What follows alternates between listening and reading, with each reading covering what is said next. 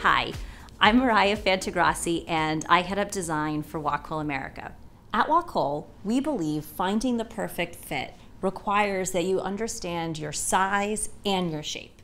Let's be honest, one size does not fit all. And size isn't everything. With the introduction of our new My Bra Fit app, we'll help you determine your size.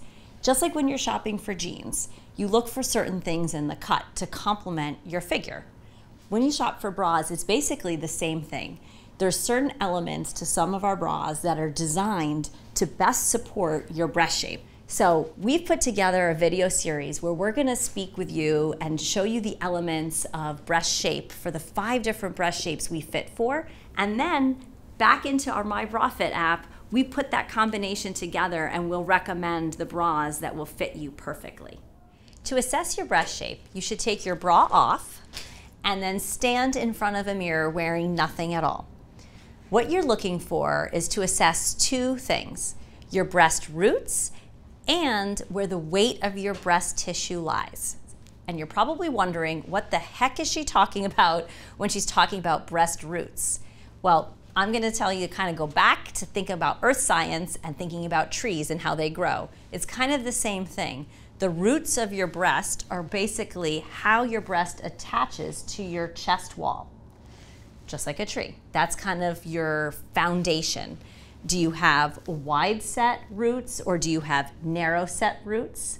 Um, and that goes as far as um, across, but it also, your roots also go up and down. So for example, her, her tissue, her roots rather, are wide set across, but when she turns to the side, you have a second assessment of roots and you're looking at how do they attach on the side.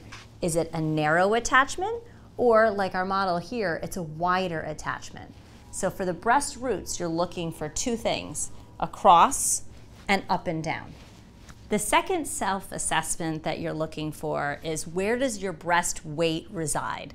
Um, is it more towards the bottom of your breast? Is it perfectly kind of symmetrical in the center? Are you shallow in the top? Um, is most of the weight kind of down towards your nipple area?